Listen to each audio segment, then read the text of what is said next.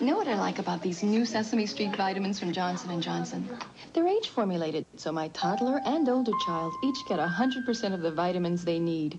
Sesame Street vitamins have natural fruit flavors and natural colors, and the Sesame Street characters kids love. Now, isn't that just what you'd expect from Johnson & Johnson and Sesame Street? Two names that mean a lot to a mom when it comes to her kids. New Sesame Street vitamins and vitamins and minerals, age formulated to help you take even better care of your kids.